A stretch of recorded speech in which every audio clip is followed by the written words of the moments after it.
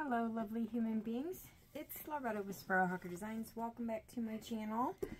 Uh, so I have finished my Slow Stitch Keepsake book. Um, you guys have seen the cover already because I was um, demonstrating how to do this uh, wax technique on the picture transfer.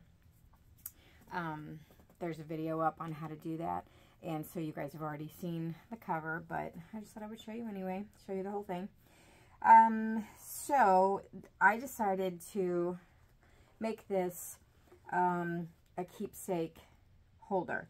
So, uh, let's see, I don't think this is a pocket. Yeah, I didn't make the front one a pocket because I didn't want it to, if you put something in it, I didn't want it to mess up the cover. So this one is a pocket. There you go and there, it's a two pocket. There's one up here and there's one here. Um, let's see. So all the images in here are mine and I did the transfer, the gesso transfer technique with the, and then did um, the wax on them. Uh, so just some old vintage, vintage laces, um, a, a heart from a cutter quilt, um, some eyelash trim.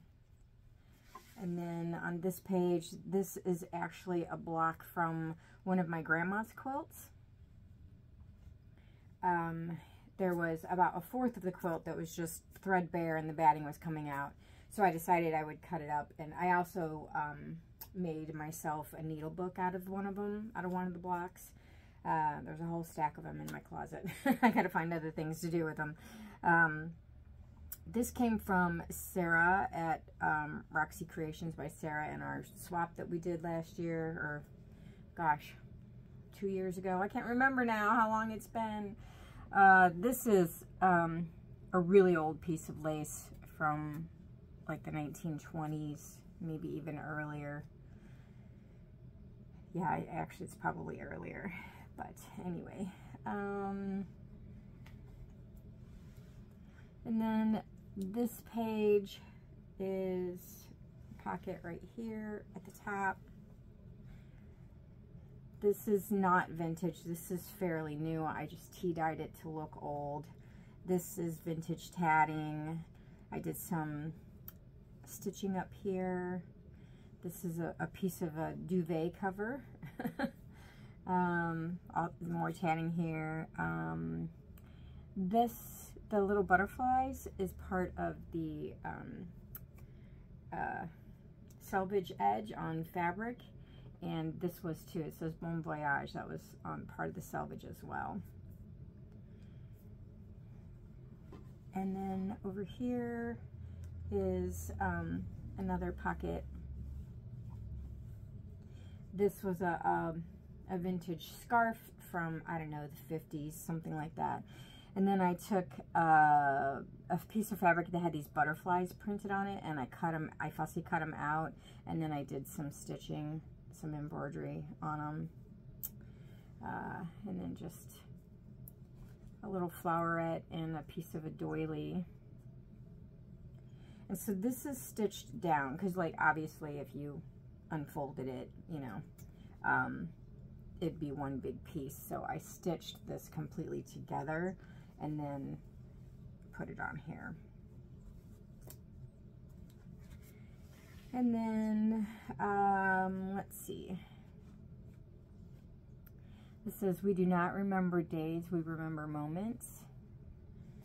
And yeah, this is just a bunch of my old trims and stuff. This actually came from uh, my daughter's stepmother's great aunt. uh, and then just some stitching all in here. And yeah, this one is a little pocket. So uh, this one is not a pocket. Yeah, I didn't. I did the same thing on the back cover that I did on the front because I didn't want to, like if you put something in there that was really bulky, I didn't want it to kind of mess up the covers. So um, anyway, I just put this. So this, um, was a big piece. I It had several of these um, baskets on it. Uh, I, I don't know what, I guess it was like a tablecloth or something. And technically, it's really too long for the book, but I didn't want to cut up, I didn't want to, uh, I don't know if you can see that. I didn't want to cut off that scallop because I just liked it too much. So I just put the whole thing in there like that, even though it's technically a little too long because the page ends like right here. But with all of the trims and stuff, you can't, you can't tell. It just looks like it's part of the trim. So this was already uh, pre-embroidered. Um, and then I did a boro stitch on it to just kind of secure it down. And then the back is all slow stitched. So I will hold it up for you.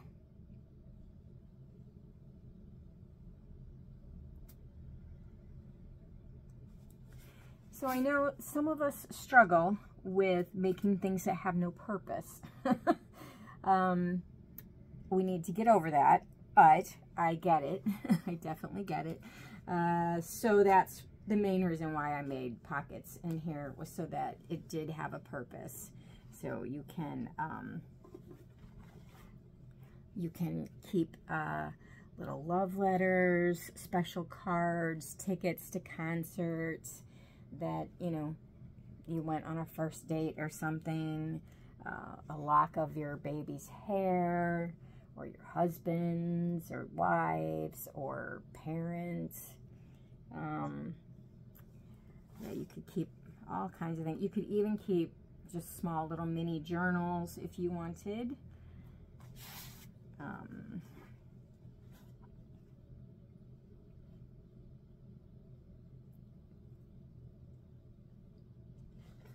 And so I had originally, I was making this for myself. originally, that's kind of what the thought was, is that I would make it for myself. And I have a, an, I have my name embroidered from uh, Jeanette at My Cottage Crafts in our last swap that we did. And I was going to incorporate it somewhere. And then halfway through the book, I was like, I don't know. I don't know if I want to keep it or not. I might sell it, so I didn't want to put my name in it if I was going to sell it, which I think is like really funny. But I have, you know, a ton of stuff in my house already that I've made. Um, so I think I'm probably going to sell it. I can't decide. I will decide by the time I put it up in on by the time I put this video up, I will have decided. Uh, that doesn't make much sense, does it? And there you go. So I love it. I absolutely love it. It's 95% um, of this is all stitched. There is some gluing um, of um, I think I glued like in like the pocket part in here maybe and I think I did the same thing here. I think this is, yeah, because I didn't want the stitching to show. So I actually glued this down um, with Aleene's Tacky Glue. I did not use a hot glue gun.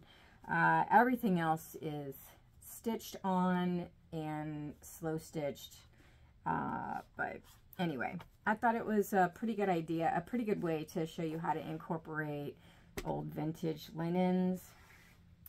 Um, obviously we all know how to, you know, use our vintage laces, but some people struggle with the vintage linens, so I thought this was a good way to show you how to incorporate those. And also, um, I know a lot of people have this idea that slow stitching has to be done with vintage fabrics only, and this book is a mixture of the two. Um, all of these are new fabrics. This one and this one is vintage.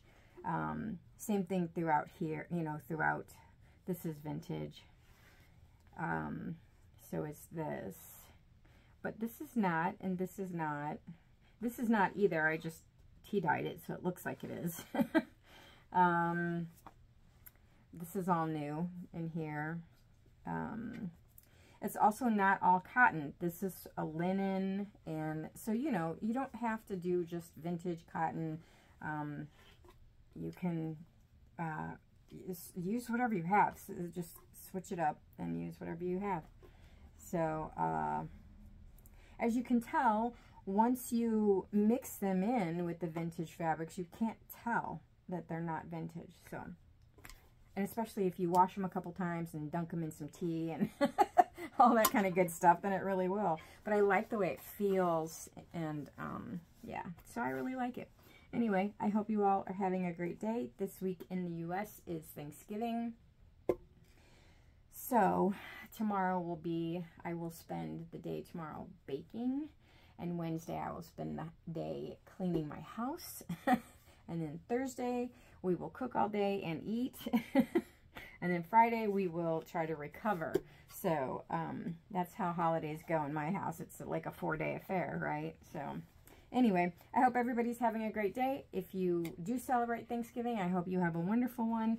And um, I will uh, see you again real soon with a new project. So I will talk to you later. Bye.